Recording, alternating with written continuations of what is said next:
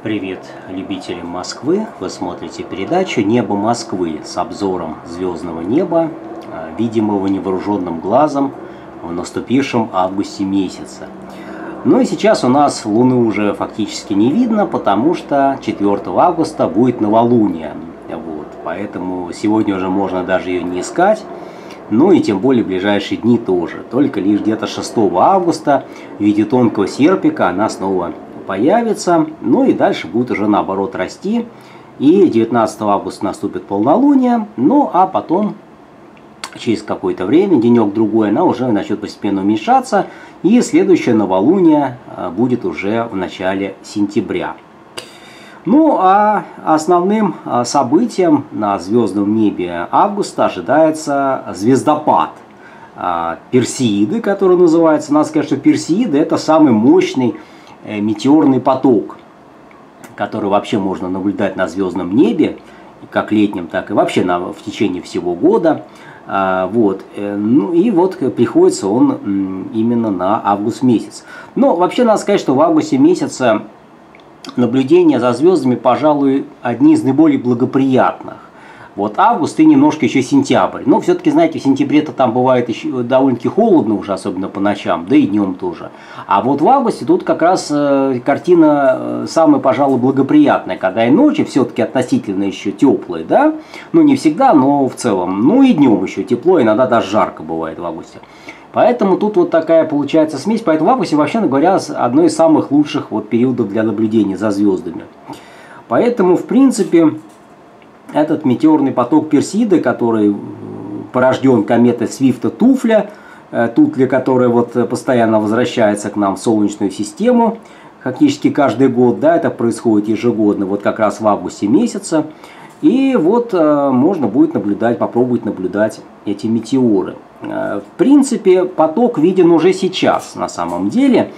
А, потому что его видно примерно месяц, то есть середины июля и до почти до конца августа. Но сейчас он совсем слабенький, а, а вот максимальный у него такой вот именно, так сказать, э, максимум этого потока, да, он, э, вообще говоря, приходится на 15 18 августа, вот на эти дни, то есть, грубо говоря, самая середина августа, вот эти дни, когда принципе, может даже выпасть до 150 метеоров. Там даже максимально где-то до 200, но это очень редкие годы, очень как уникально.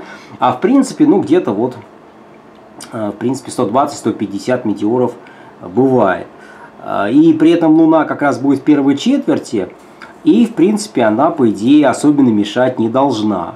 А, в том числе там вот, например, 12 числа она будет вообще заходить где-то до, еще совсем молодая будет, она будет заходить э, до 10 часов вечера, но этот поток лучше всего наблюдать, ну, равно как и фактически все метеорные потоки, где-то после полуночи примерно, когда уже хорошенько так стемнеет, а, вот, и уже такое небо будет по-настоящему черное. Вот, насколько это, конечно, летом возможно, но сейчас уже вот в августе постепенно оно чернеет, конечно, и можно пытаться вот наблюдать. А, ну, другой разговор, конечно, что, и, естественно, мы говорим про то, что нет облачности, да, то есть понятно, что если будет облачность, Луна это, это один аспект, она, по идее, особо не должна мешать, хотя уже к 15 она будет достаточно крупная и уже немножко может мешать, а вот 12 13 а, ну, даже отчасти 14 в принципе, мешать особенно не должна. Но тут могут быть облачности. Если будет облака, то понятное дело, что ничего не получится. И ничего увидеть, конечно, будет совершенно невозможно сквозь облака. Ну и тут еще, конечно, понятно, что всегда возникает вопрос, а почему вот посмотрим и ничего не видим, да? А, вот. А все потому, что, конечно, в условиях города большая идет засветка. И вообще звезды очень плохо у нас видны в Москве очень много всякой, как вы видите, такой вот э, горящих вывесок разных, фонарей, э, в домах везде, домов очень много, в том числе и высоток сейчас понастроили к тому же. И, конечно, это очень сильно мешает наблюдениям. Поэтому понятное дело, что Речь, конечно, идет, когда вот мы говорим там о 120 метеоров в час, да, или вы где-то можете услышать там 150, да даже не то, что там, ладно, 150, 100, хотя бы даже там 50, хотя бы даже там иногда и 20, и 30 метеоров, да, то речь, конечно, прежде всего идет о сельской местности, то есть там, где нет фактически источников а, света дополнительных, искусственных источников света. Вот. А в Москве, конечно, увидеть их бывает довольно непросто. Но если повезет, то вот можно будет увидеть вот такие вот, видите, полосы. То есть они как бы так вот летят, сгорают в атмосфере, и при этом э, это метеоры, да, они в атмосфере сгорают, и при этом образуются вот такие вот следы как бы такие линии образуются, да, вот идущие из одного, фактически из одной точки, это из радианта метеорного потока Персида, а Персида потому что находится в созвездии Персея. Ну вот и вот они в разные стороны вот идут такие вот линии, конечно, зрелище довольно красивое, но опять же повторюсь, что это в основном для э, сельской местности. Ну или тем, кому повезло жить где-нибудь там в Москве, может на границе Лосиного острова, например, там, да. Хотя там, конечно, тоже уже потихонечку понастраивают жилые дома, но все-таки, да, где-нибудь там около Измайловского парка, ну, вот таких местах, где еще все-таки есть, немножко в Москве еще сохранились такие места, где невысокая застройка и в целом такие вот достаточно э, хорошие условия, темнота достаточно большая, что, конечно, очень важно. Ну, также в этом месяце будут серебристые облака, ну вот э, они примерно так вот выглядят вот такие вот так они могут очень красивые, конечно, зрелище. Но в основном серебристые облака, они, конечно, бывают на севере нашей страны, вот там вот русский север, да, ну в целом Ленинградская вот область, там Архангельская, ну это и есть как раз русский север. То есть в основном они, конечно, максимально бывают там. Ну, в Москве, конечно, их не так часто видно, но бывают такие вот, как бы светящиеся такие вот облака, в принципе, да в общем-то, они бывают, хотя не такие, может быть, красивые, как, допустим, на севере. Вот. А, ну, возвращаемся к звездному небу, и здесь э, можно будет видеть, э, конечно, по-прежнему летний треугольник, то есть, э, вот, треу, так сказать, три звезды, созвездие Лебедя, Лиры и Орла. Вот раз, два, три. Вот три звезды, которые вот таким вот образом образуют вот такой вот треугольник. Ну, поэтому и называется летним, что его хорошо видно. Ну и, кстати, заодно можно будет посмотреть там рядом вот созвездие дельфин, там вот еще посмотреть лисичка, стрела, ну эти такие малоизвестные созвездия, но их почему-то хорошо сейчас, если попробовать найти э, ради интереса. Ну, опять же, в Москве, конечно, это очень сложно все делать. Э, в Москве, конечно, вряд ли что там найдешь, потому что они так-то маленькие созвездия. Летний треугольник-то и то трудно найти, а уж тем более там окрестные созвездия. Ну, в принципе, если у кого-то сельское место, на даче, например, тот живет, да, но там можно попробовать. Ну вот найти вот эти созвездия, потому что сейчас летний треугольник он высоко, потом он будет постепенно опускаться и уже будет э, хуже видно. А, потому что, как вы знаете, чем ниже горизонту созвездия, тем, естественно, видимость его намного хуже. Потому что там уже идет как бы такая дымка исходит, да, такая вот, э, дрожание атмосферы. Ну, в общем, такие вот явления окологоризонтные. И там, конечно, наблюдать все значительно хуже. Вот, поэтому сейчас вот эти созвездия, это самые крайние. Ну, змееносец тоже, вот окрестные созвездия, то есть ориентироваться по треугольнику, найти его и дальше уже смотреть вот окрестные созвездия. Особенно, кстати, те, которые находятся внизу. Ну да, сейчас, конечно, многие, я вот еще помню, когда еще маленьким был, переживали, вот я помню там, которые от ребята, с, которыми мы общались, вот они переживали, что вот почему так получается, как бы, да, по закону подлости, что ли, да, почему вот эти самые такие красивые южные созвездия, самые интересные, ну, типа Козерога, там, Стрелец, вот такие вот созвездия, а, вот, они почему-то видны, вот, ну, наибольшие максимальные э, видны над горизонтом именно летом, когда сложно, сложнее всего их наблюдать, почему вот не зимой. Ну, вот уж не знаю, какой там закон, но так получается, что вот действительно э, такие часто интересные созвездия, да, э, в том числе с яркими звездами, они действительно видны зимой. Ну и Млечный Путь тоже сейчас, кстати, тоже виден неплохо, и э, тоже можно посмотреть, но опять же имею в виду, что с поправкой на то, что сейчас все-таки лето тоже. Вот. Что касается созвездий, то э, вот э, сейчас видны фактически все созвездия, кроме Венеры. Венера не видна пока, а э, остальные видны. Причем Меркурий только в конце месяца появится утром, а вот, э, значит, Марс, Юпитер и Сатурн, они видны. Э, Причем Сатурн виден только утром, ну, вернее, ну, они практически все видны ночью, но, по сути дела, можно и ночью его смотреть, а вот Юпитер и Марс, они утром видны. Ну, то есть, по сути дела, вот где-то с полуночи и до утра можно вот посмотреть и Марс, и Юпитер, и Сатурн. Но штука заключается в том, что они довольно слабые. Вот, они хотя и видны, но Марс плюс один, Сатурн плюс один, ну для Сатурна это нормально. А вот для Марса, конечно, маловато, плюс один. А Юпитер всего минус два. Ну, вы знаете, что Юпитер, он же бывает и минус 4, минус, э, почти, почти до 5 доходит, да? А, то есть вот так вот, у него яркость бывает очень большая. А сейчас минус 2. Для Юпитера это, в принципе, мало. Поэтому, на самом деле, хотя его, конечно, видно, он будет заметен, но, но не так, не так ярко сиять, как, допустим, когда у него бывает э, максимальная такая вот яркость.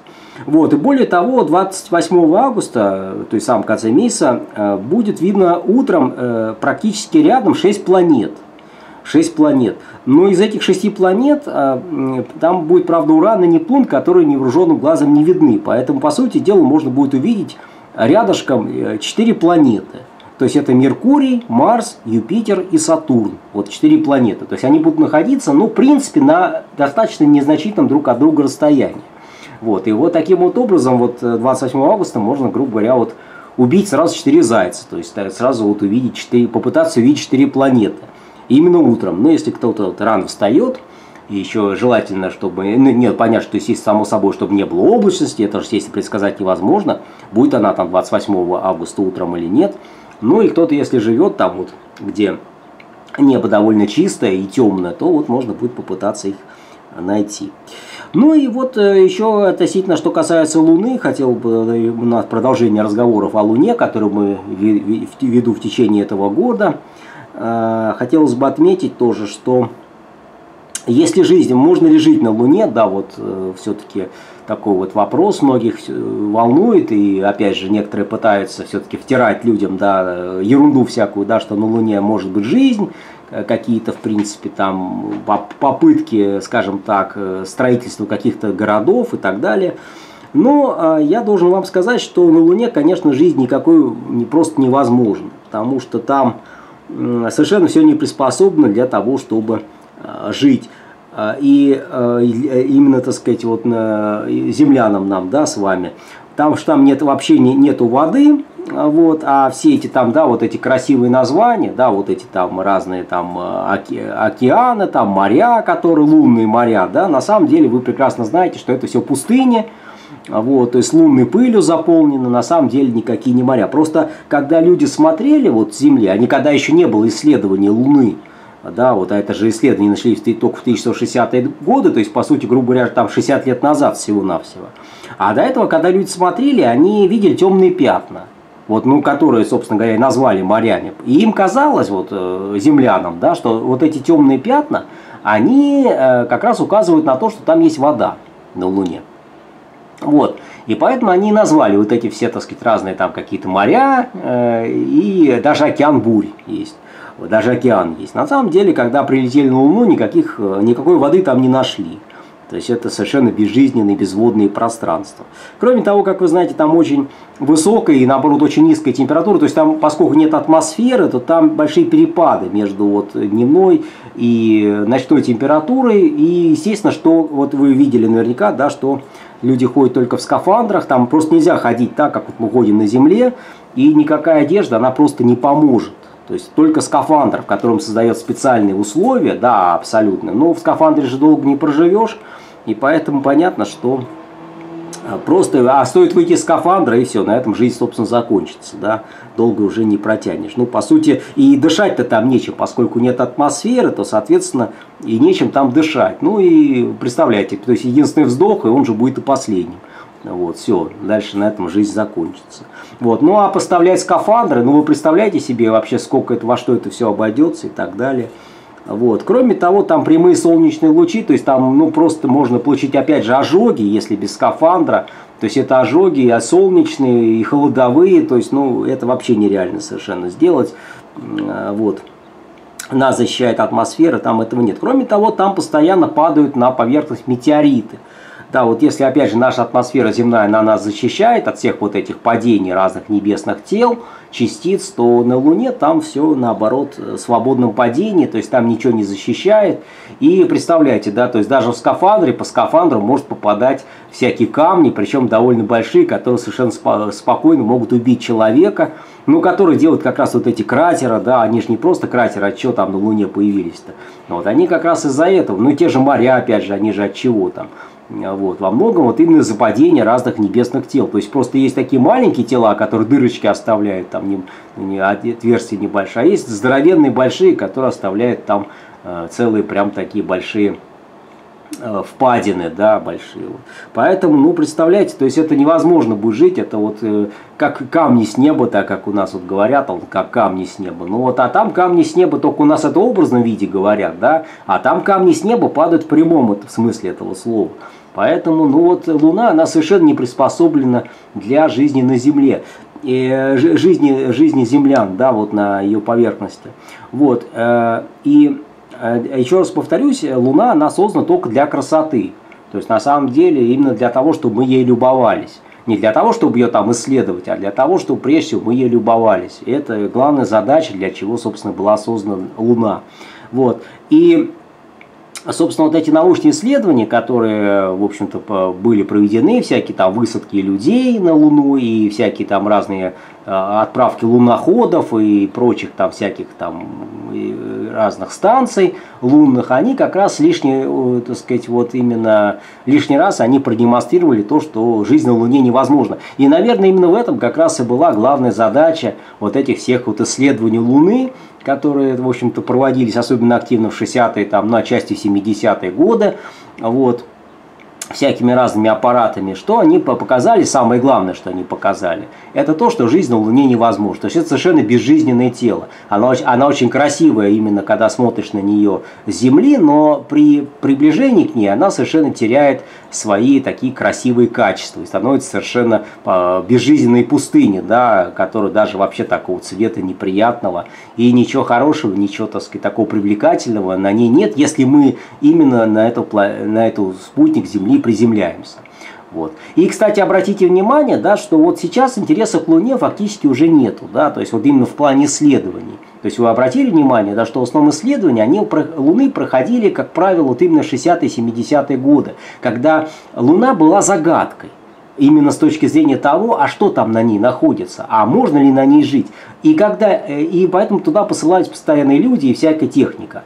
А когда уже точно стало понятно, что, э, собственно, жизни там нет, и, и в общем, по большому счету смотреть-то там нечего, э, то и интерес к ней, в общем-то, упал плане вот именно исследований, вот обратите внимание, что сейчас как бы, ну, Луна, ну, понятно, а что там в принципе, да, это безжизненное тело, э, которое освещается солнцем, да, и поэтому смотреть на нее приятно, она красивая, но именно вот с эстетической точки зрения, когда смотришь Земли. А когда ты при, уже, так сказать, приходишь на саму Луну, да, и, ну, а что там, ну, ничего, и быстрее хочется уже обратно, ну, посмотрел, там, погулял, походил, там, получил какие-то изображения с разных зондов, там, да, с разных камер. Ну и, в общем, все, на этом все закончилось. И дальше никакой перспективы не вырисовывается. Поэтому, когда там говорят по поводу там, э, как, каких-то еще все-таки пытаются реанимировать вот эту идею, да, что все-таки какая-то попытка э, отыскать жизнь на Луне, то это, конечно, ну, полное шарлатанство и или просто ну, глупость какая-то, да, когда человек просто не понимает, что он говорит, а когда спрашиваешь, а как это вообще возможно и так далее, то в итоге просто ну, какие-то разные конструируются совершенно бредовые какие-то, так сказать, идеи там, да, и разные какие-то конструкции, да, которые на самом деле как-то ничего общего с жизнью в принципе не имеют. Вот. Все, до новых встреч.